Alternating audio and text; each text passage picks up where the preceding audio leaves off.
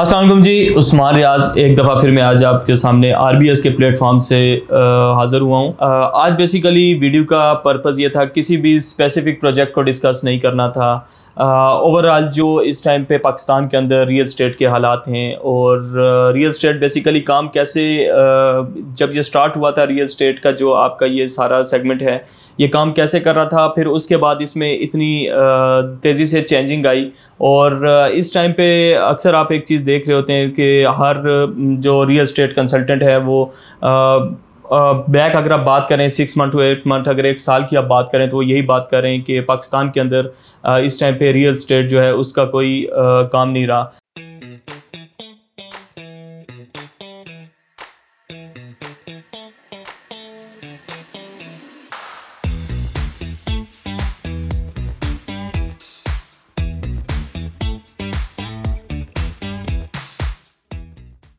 लेकिन अगर हम इसको प्रॉपर अगर इस चीज़ को हम स्टडी करें, हम पॉजिटिव सोच के अगर हम ये चीज़ देखें कि रियल स्टेट में भी इन्वेस्टमेंट्स की डिफरेंट अपॉर्चुनिटीज़ थी। एक रियल स्टेट के अंदर वो वाले कंसल्टेंट्स थे कि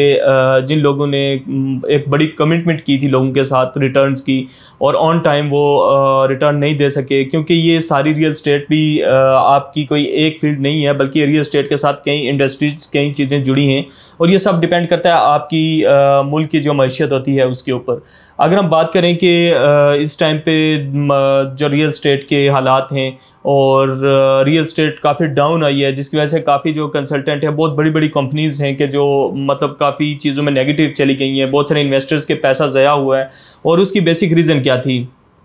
देखें कि पहले जब रियल स्टेट अगर हम बात करें कि जब रियल स्टेट का स्टार्ट था, तब उस टाइम पे बहुत ही ज़बरदस्त चीज़ ये थी कि कोई भी आपकी टेंजिबल प्रॉपर्टीज़ होती हैं या फिर पोजेशनबल प्रॉपर्टीज़ होती हैं, उसमें लोग इन्वेस्टमेंट करते थे और एक अच्छा बेनिफिट अर्न करते थे, लेकिन वो शॉर्ट टर्म बेनिफिट नहीं था। एक चीज़ अपने माइंड में हर इन्वेस्टर हर एंड यूज़र ज़रूर रखे कि कोई भी बंदा अगर आपको ये कहता है कि अगर हम अभी इस पर इन्वेस्टमेंट करेंगे फॉर एग्ज़ाम्पल थ्री मिलियन की फोर मिलियन की तो हमें तीन से चार मंथ के बाद हमें अप्रोक्स वन मिलियन का प्रॉफिट हो जाएगा। उसी टाइम आपको ये चीज़ ज़रूर समझनी चाहिए कि इस चीज़ के अंदर हंड्रेड परसेंट आपका जो है वो फ्रॉड है। फिर उसके बाद एक सबसे बड़ा जो डेफिनेटली हर इंसान, हर इन्वेस्टर की यही कोशिश है कि मैं कुछ भी इन्वेस्टमेंट करूँ, मुझे उस पर एक अच्छा रिटर्न मिले। बहुत कम लोग होते हैं कि जो घर बनाने के लिए प्लाट लेते हैं। और रिटर्न ऑन इन्वेस्टमेंट का एक कंसेप्ट आया था लास्ट ईयर अगर हम बात करें तो उसकी काफ़ी ज़्यादा हाइप बन गई थी मार्केट के अंदर कि आप हमारे साथ इतनी इन्वेस्टमेंट करें और हम आपको मंथली इतनी रेंटल वैल्यू इसकी पे करेंगे। और वो जितने भी प्रोजेक्ट्स थे, मैं किसी स्पेसिफिक प्रोजेक्ट का नाम नहीं लूँगा, जितने भी प्रोजेक्ट्स थे, काफ़ी हद तक आपके सिक्सटी टू सेवेंटी परसेंट जो प्रोजेक्ट्स हैं वो इस टाइम पे मार्केट के अंदर डिफ़ॉल्ट कर गए और बहुत सारे इन्वेस्टर्स बहुत सारे एंड यूज़र्स का उसमें काफ़ी सारा नुकसान हुआ है।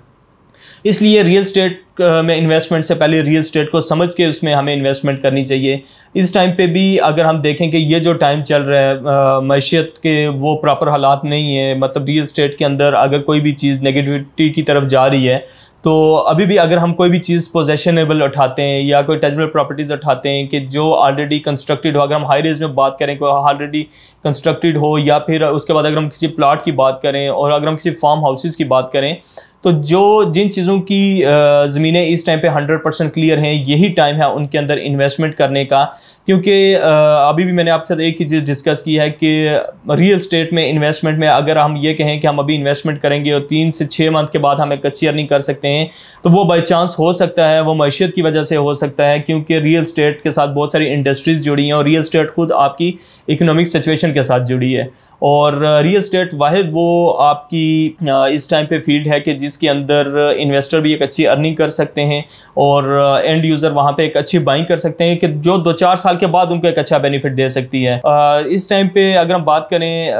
रियल स्टेट में इन्वेस्टमेंट के कुछ अच्छी अपॉर्चुनिटीज़ हैं, कुछ अच्छे ग्रुप्स हैं इस टाइम भी मार्केट के अंदर काम कर रहे हैं। जैसे हबीब रफीक प्राइवेट लिमिटेड हो गए मुल्क के कोई भी हालात हों किसी भी किस्म की सिचुएशन हो, उसमें भी वो लोग जो एंड यूज़र जिन्हें वहाँ पे बाइंग की हुई या अपना घर बनाने के लिए, उनके लिए हंड्रेड परसेंट बेस्ट लोकेशन आपकी कैपिटल स्मार्ट सिटी या फिर लाहौर स्मार्ट सिटी है। इसी तरह मार्केट के अंदर अगर हम बैरिया टाउन का बात करें डीएचए की हम बात करें तो बैरिया टाउन हो गया या डीएचए हो गया, जो ऑलरेडी कंस्ट्रक्टेड हैं, जहाँ पे लोग रह रहे हैं, हम अगर उस जगह पे अभी भी इन्वेस्टमेंट करें तो हमें हंड्रेड परसेंट वहाँ पे बेनिफिट्स भी हो सकते हैं, और अगर हम कंस्ट्रक्शन के लिए ले रहे हैं तो अभी हमें एक अच्छे रेट पे मार्केट से चीज़ मिल सकती है।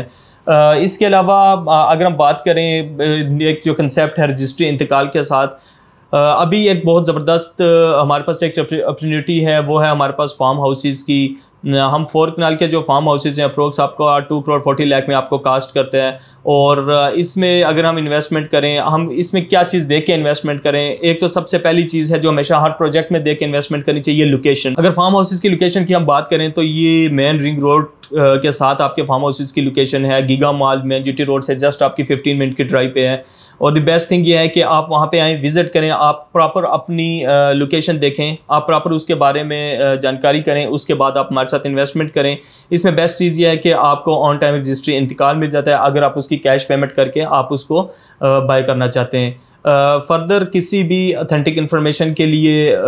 या कहीं पे भी अच्छी जगह पे आपको अगर मशवरा चाहिए कि हमें इन्वेस्टमेंट किस जगह पे करनी चाहिए और लॉन्ग टर्म करनी चाहिए तो उसके लिए हमारे यूट्यूब चैनल से जुड़े रहें, हमारी वेबसाइट विज़िट करना ना भूलें W W W dot R B S land dot com thank you